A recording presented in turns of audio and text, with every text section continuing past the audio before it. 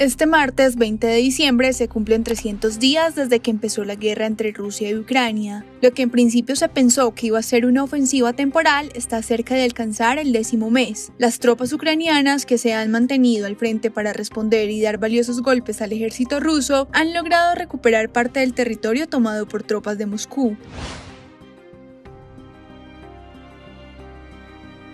El presidente ucraniano Volodymyr Zelensky estuvo este martes en Bashmut, perteneciente a la región de Donetsk y una de las ciudades que las fuerzas rusas intentan tomarse desde hace meses. Al ser una de las más cercanas a la frontera con Rusia, resulta siendo un territorio importante y actualmente bastante afectado.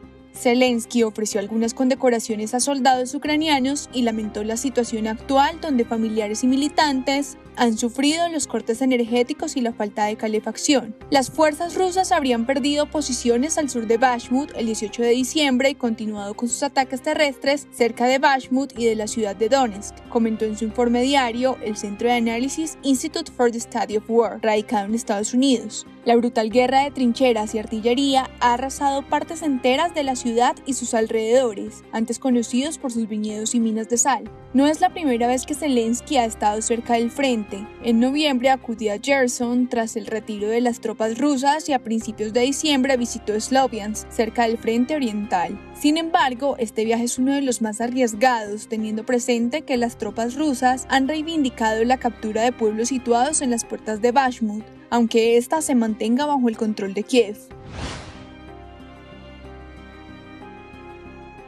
La situación civil y militar no son los únicos aspectos afectados por la guerra. La economía ucraniana también tuvo un impacto significativo. Por eso el Fondo Monetario Internacional aprobó un plan de vigilancia económica que ayudaría a Kiev a recaudar fondos de donantes. Lo que está en juego es nada menos que la creación de un plan Marshall para el siglo XXI, una tarea generacional que debe comenzar ahora, declaró el jefe de gobierno alemán Olaf Scholz al inaugurar una conferencia internacional en Berlín sobre la reconstrucción de Ucrania. El plan Marshall fue una estrategia por Estados Unidos para ayudar a países europeos a recuperarse tras las crisis generadas por la Segunda Guerra Mundial. La reconstrucción de Ucrania es una tarea generacional que debe comenzar de inmediato. La mejor reconstrucción es la que no se hace al proteger las ciudades de bombas, drones y misiles rusos, sostuvo Shaw.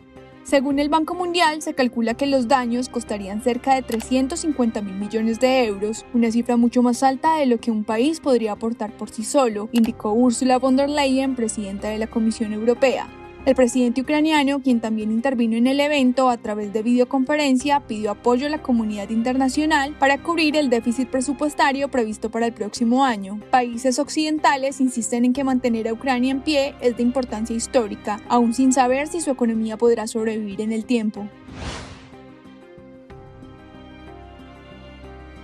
Reiniciar el sistema eléctrico tras cada corte de luz, proteger las instalaciones apenas reparadas antes de un nuevo ataque y lidiar con la falta de calefacción es el trabajo de los técnicos ucranianos para contrarrestar los golpes a las infraestructuras por parte de Rusia. En Kramatorsk, una de las ciudades industriales de Ucrania, tres compañías se encargan de reparar una red energética ya obsoleta y ahora también afectada por la ofensiva rusa. La compañía municipal cuenta con 40 técnicos, el doble de trabajadores que tenía antes de la invasión. Además, gestiona la mitad de los edificios de Kramatorsk, la cual tenía más de 150.000 habitantes antes de la guerra.